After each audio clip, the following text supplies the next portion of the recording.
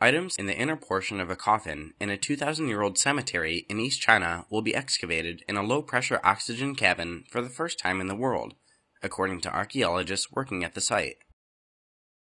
The low pressure oxygen cabin will prevent the items from becoming oxidized by pulling oxygen out and replacing it with nitrogen. The low pressure oxygen cabin has been used in preserving sophisticated weapons. It is the first time in the world to use a low pressure oxygen cabin in archaeology. Archaeologists will wear protective clothing in the cabin. The cabin's temperature can be changed to protect different items, as some of the items require specific temperatures for preservation. The Haihunhou Cemetery is the most complete Western Han Dynasty era cemetery to be found in China.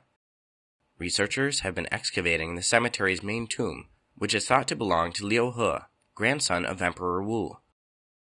More than 20,000 artifacts have been recovered from the cemetery since excavation began in 2011.